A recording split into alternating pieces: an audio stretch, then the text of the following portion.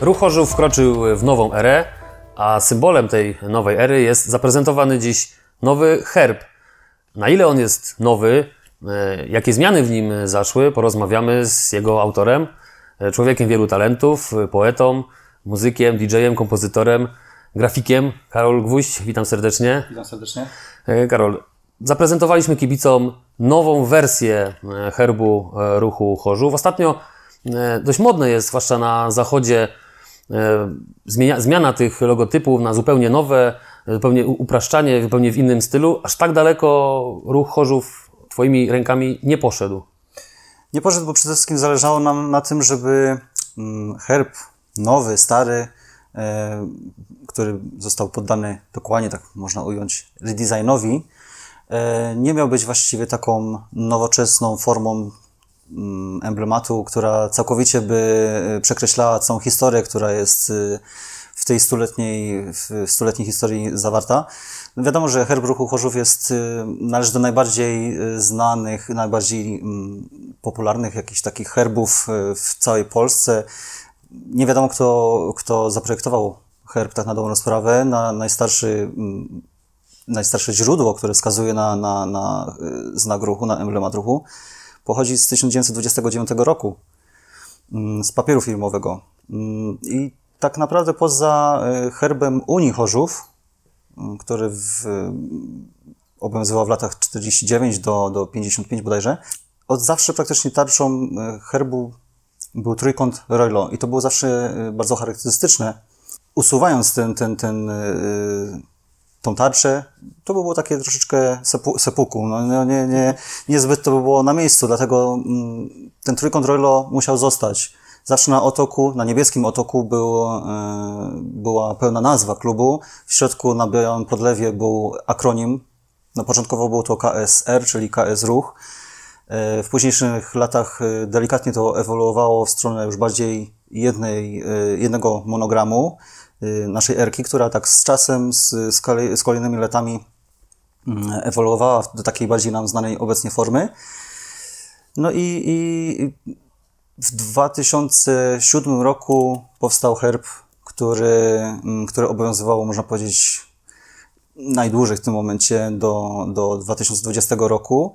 No, pojawiło się tutaj wiele krytycznych jakichś uwag, jeśli chodzi o różne gradienty i cieniowania, które w heraldyce nie za bardzo mają miejsce. No, wywoływał ten herb wiele dyskusji Tak, i tak. było wiele do niego, do niego uwag. E, Myślę, że to jest też ten moment, w którym moglibyśmy e, przedstawić różnice, jakie zaszły w tym już nowej wersji herbu.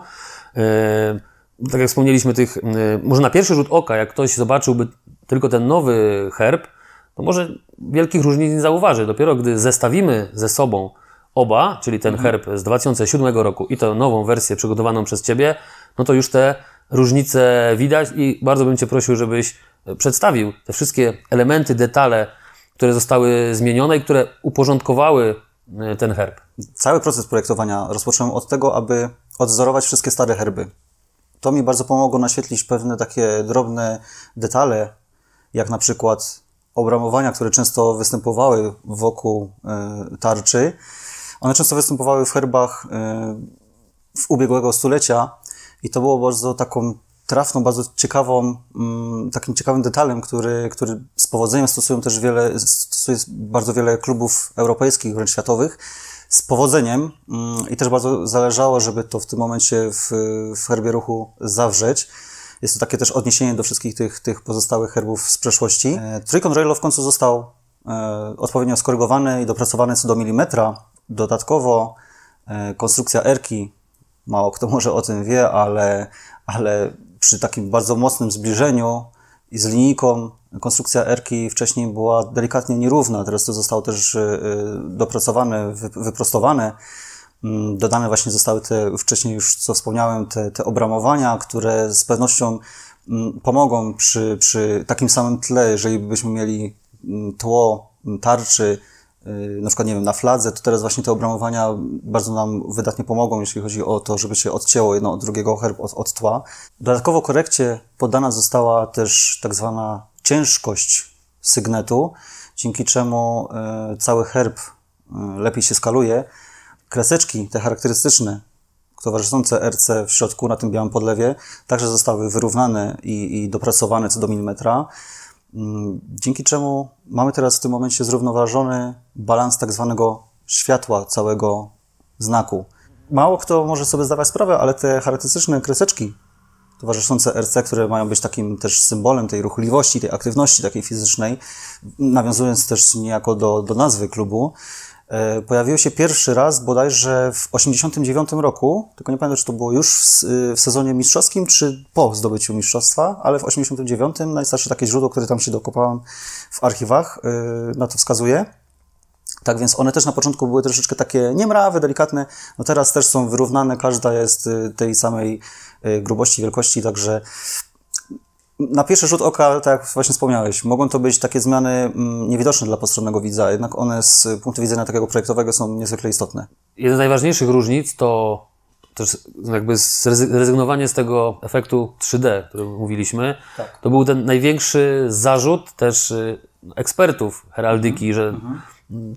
co na ten temat y, możesz y, powiedzieć? Tak, no w, przede wszystkim to co do kolorystyki, to to była taka najważniejsza zasada, żeby, żeby mm, całkowicie nie brać pod uwagę te, te, te, te wszelkie gradienty cieniowania, y, ponieważ no, one są, stoją w sprzeczności z zasadami heraldyki, tak jak właśnie wielu heraldyków też y, wskazuje. Wskazuje na to też niejako zasada alternacji, czyli nakładania na siebie barw. A cieniowanie niejako na tym polega. Tak więc y, no, potrzebowaliśmy jakiegoś takiego zunifikowanego jednego odcienia niebieskiego. W latach powojennych, przedwojennych nie istniała jako taka, jako taka jedna zdefiniowana barwa klubowa, bo wtedy po prostu do tego nie, nie przywiązano takiej wagi. Był to taki bliżej nie, nie, nie scharakteryzowany y, kolor, który był zależny od tego, jaka jest po prostu farba w danej drukarni, gdzie się drukowało po prostu jakieś broszury czy papier firmowy. Więc y, dopiero do, era komputerów to troszeczkę zmieniła. Natomiast herb obowiązujący w latach 90. no, był nazbyt błękitny. Z kolei ten z 2007 roku e, poddany liftingowi zawierał właśnie te gradienty, cieniowania. Ich było dużo. Przez, było ich bardzo dużo i, i no troszeczkę tak e, krytycznie ludzie na to patrzyli i ja też oczywiście do tego grona należałem ze względu na to, że, że znając te wszystkie zasady e, alternacji, to, to, co, to co obowiązuje przy projektowaniu herbów w heraldyce, bardzo to mm, stało w sprzeczności no, ten herb z 2007 roku, tak na dobrą sprawę, przez swoje, no nie trafione te, te gradienty, e, po wydruku często, no niezbyt, niezbyt to tak precyzyjnie, precyzyjnie wyglądało w wydruku.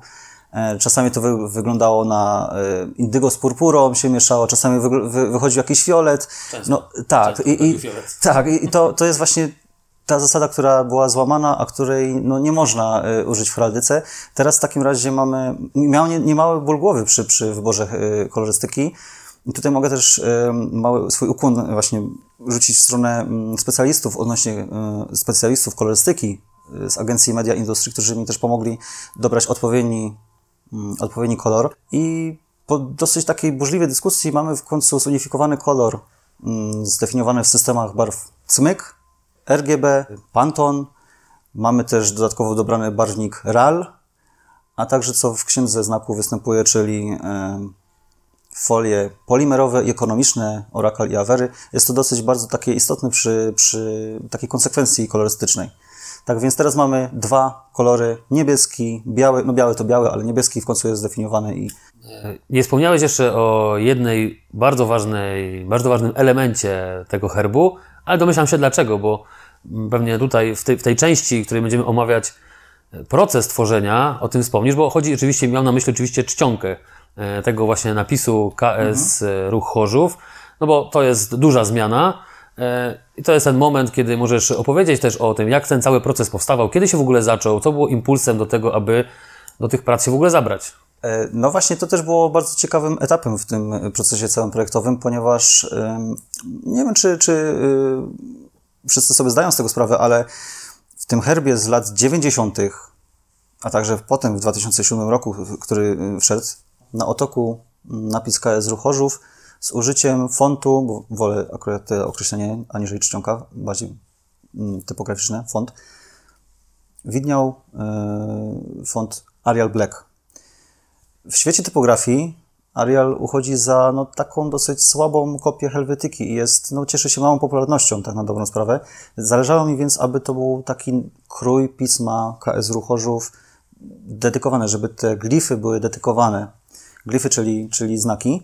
I chciałem zaprosić tutaj do współpracy właśnie typografa, projektanta liter, który, który wykona tą robotę naprawdę na, na, na, świetnej, na świetnym poziomie, zajmując się tylko i wyłącznie projektowaniem liter. I rozważam wielu mm, typografów, ale ostatecznie padła e, decyzja na współpracę z Karoliną Wiśniewską, którą serdecznie pozdrawiam, bo okazała się to osoba, która, co mi bardzo zależało, która poczuje bluesa, że tak powiem, że, go nie, że, że będzie wiedziała o co chodzi. I dzięki temu teraz mamy mm, zestaw znaków dedykowanych, które nie występują w żadnym e, ogólnodostępnym foncie. Nawet było duży, dosyć duże nawiązanie do tego, że trójkąt Roylo to jest taki trójkąt, nie taki chamski, prostokątny, tylko jest to taki obły, delikatny trójkąt. Mm, tak samo jak się przybliży, to kropki przy KS też nie są ani taką stricte kropką, ani jakimś kwadratem, tylko właśnie takim lekko obłym y, kwadracikiem. E, wyjściową literą z tego, co Państwo zauważą w napisie KS ruch Chorzów, ta R, która występuje w tych, w tych literach, też y, była inspirowana naszą R, czyli naszym sygnetem. Dzięki temu ten, ten brzuszek jest troszkę wyoblony, krawędzie liter nie są takie ostre, są delikatnie właśnie też zaokrąglone, dzięki czemu mamy cały napis KS Ruchorzów dosyć taki mm, nawiązujący do współczesnego minimalizmu, ale też bardzo taki, są to takie glify dosyć dostojne i które niejako swoją ciężkością nawiązują też do naszej stuletniej historii i udźwigają ten ciężar tego, tej, tej, tej, tych wszystkich osiągnięć, tej, tej, tej całej historii stuletniej. Mm, dodatkowo, dzięki temu, że mamy zaprojektowaną nową, nową typografię w, w herbie, mm, tak zwany kerning lep, lep, lepiej wypada, czyli e, odległości pomiędzy literami i, i cały, ta, cały ten czytelność tego znaku przy, przy też skalowaniach lepiej, wy, lepiej wypada. Na uwagę też zasługuje e, litera U, czyli znak diakrytyczny jako jedyny występujący w, w, w herbie ruchu. Zawsze to U, no, jak to znak diakrytyczny, to jest O z kreseczką, która jest dosyć wysoko poniesiona. Natomiast ze względu na to, że mamy dosyć y, płaską tam przestrzeń na dolnym, y, na dolnym otoku, ta, kreseczka, ta kreseczka została wciśnięta w, w O, dzięki czemu takie nowatorskie zastosowanie do tej litery pokazuje, że nadal te U w słowie Chorzów jest nadal czytelne, jest nadal dobrze odbierane, ale jest dosyć tak projektowo fajnie y, skondensowane z całością. Jak długo trwał cały ten proces e, projektowania tego herbu, tych zmian? Cały ten proces, no, przyznam się szczerze, że łącznie z, z takim całym researchem, jeśli chodzi o, o archiwa, jak to właśnie wyglądało w przeszłości, że to też nie było jakieś e, szeryfowe, y, chociażby litery, że to wszystko było takie dosyć proste i, i, i takie, no, wiadomo, proste litery to też nawiązują do tego, że to jest sportowe, że to nie jest jakiś taki. Mm, że to nie jest powiedzmy jakieś logo jakiejś firmy, korporacji na 100 osób, tylko to jest herb no, nawiązujący też swoimi zasadami do heraldyki, jest to herb, y, który będzie oglądał tysiące ludzi, mm, więc ten research był bardzo istotny, więc razem z tym researchem, y, aż po zakończenie prac projektowych, no, można powiedzieć, że no, niecałe pół roku to, to zajęło dosyć sporo, spory kawałek czasu, aczkolwiek no, wydaje mi się, że, że, że efekt został osiągnięty. Też te obramowania, o których żeśmy wcześniej wspominali, które też stosują z powodzeniem inne kluby w, w Europie, one też delikatnie, fajnie upiększają ten herb, w minimalistyczny sposób, ale nadają takiej godności. Zresztą niech Państwo zauważą, że e, na początku akronim KSR był dosyć, i same te litery na otoku były dosyć cieniutkie, chude. Można powiedzieć, że w tym momencie się zaczynał, zaczynał e, powstawać klub piłkarski. Teraz mamy 100 lat klubu piłkarskiego, gdzie tak w przenośni, metaforycznie można powiedzieć, że ciężkość, masywność tych wszystkich osiągnięć, tych pucharów, tych medali złotych naprawdę przybrało na sile i to też widać w tym, y, w tym herbie. No, bo nie było heraldycy często mówią, że, że historia pisze się w herbach. Tutaj właśnie w tym herbie, mam nadzieję, zostało to ujęte, więc, więc y, pod ocenę oczywiście, oczywiście kibicom. Natomiast no, z projektowego punktu widzenia wszystko zostało dopracowane tak, jak powinno. Wspomniałeś, że te prace trwały blisko pół roku. Jestem ciekaw, ile do Twojej szuflady trafiło różnych y, projektów, wersji herbu, Y, No, trochę tego było. które nie wiem, czy ujrzą kiedyś światło Nie, dzienne? nie ujrzą, nie ujrzą, bo jak było zakończenie procesu projektowego, to od razu to zostało usunięte z tego względu, żeby to nigdy nie, nie, y, no, nie drażniło oka. Tak, ale dosyć tych szkiców było, bo sam, tak samo jak i w przeszłości, sam, sama grubość tego niebieskiego otoku w, ty, ty, w tym trójkącie Relo miał różne y, szerokości i tutaj też wbrew pozorom było dosyć dużo zabawy. Mm, Wiązało się to oczywiście z bardzo częstym drukowaniem na, na malutkich jakichś he- herbu, na, ma, na małych powierzchniach, potem na dosyć dużych jakichś kartkach, żeby zobaczyć, jak ten herb się y, sprawuje przy takiej odległości, y, przy takiej, przepraszam, grubości, szerokości tego trójkąta i tak dalej, i tak dalej. Tak więc no, sporo było tych, tych projektów, które, które no, dociągnęły nas do tego etapu, który mamy obecnie. Nie wiemy, kto, w jakim miejscu będzie ruch za 10, 20, czy 50, czy 100 lat, kto tutaj będzie, na, nasi następcy, jak będą tutaj klubem zarządzać, ale mamy nadzieję głęboką, że ten herb będzie przez ruch używany przez wiele kolejnych dziesięcioleci.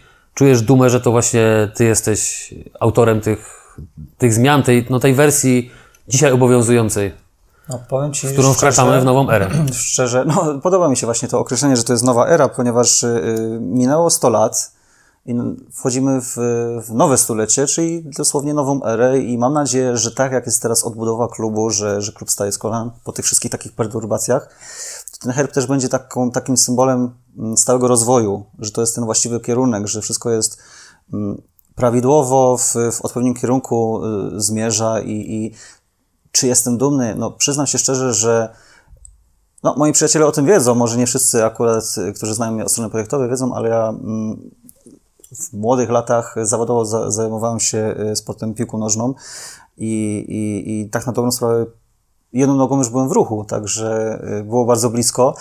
No, jakby się udało, jakby mi zdrowie wtedy pozwoliło, to nie wiadomo, czy teraz bym po prostu już nie, nie był na powolutku na piłkarskiej emeryturze, ale nie udało się na boisku, to się udało poza boiskiem, ponieważ no, mój taki pierwszy kamyczek, mój taki pierwszy, pierwsza cegiełka e, dla klubu to właściwie był e, projekt maskotki klubowej Adlera w 2007 roku, 2008 roku. I no, to był taki pierwszy mój taki, można powiedzieć, taki sukces, z którego byłem bardzo dumny. Ale tutaj waga dużo większa jednak. Właśnie chciałem powiedzieć, potem po drodze były, były różne projekty gadżetów, y, przy okazji współpracy z klubem y, Ozierzy Reklamowej. Przy okazji też mo można powiedzieć, że w 2011 roku za pośrednictwem mm, strony sportmarketing.pl e, zauważono, że w takim raporcie corocznym, że ruch chyba jako jeden raz w historii miał, zajął pierwsze miejsce, jeśli chodzi o, o sprzedaż i o, o różnorodność wszystkich e, gadżetów, ale Potem tak samo doszlusowaliśmy do 2020 roku, gdzie zaprojektowałem wszystkie o, te odznaki, wpiny, medale, e, także okładka książki Luchorzów, ale to pomimo, że są bardzo fajne projekty i fajne takim e, miejscem w moim CV, to mimo wszystko ten redesign herbu, ktoś powie, że no, to jest tylko redesign, ale dla mnie to jest tylko redesign, ale aż z którego jestem bardzo zadowolony, bo to jest taka, no, takie moje dziecko. Ja się podpiszę zdecydowanie pod Twoimi słowami, że, że nie są to tylko kilka zmian dokonanych e, w herbie, ale też jest bardzo głęboka symbolika, czy to, co wspomniałeś. Uporządkowanie e, herbu, wyzbycie się też tej sztuczności w jakimś sensie, która do tej pory w nim była, to też symbolizuje ten dzisiejszy ruch, który się odbudowuje, który porządkuje swoje sprawy, Tak. jest uczciwy i mam nadzieję, że, że tak będzie również w kolejnych latach. Naszym gościem był autor tego naszego nowego herbu, nowej wersji herbu ruchu Chorzów, Karol Gwóźdź. Bardzo dziękuję. Ślicznie dziękuję. Rozpoczęła się nowa era. Dziękujemy.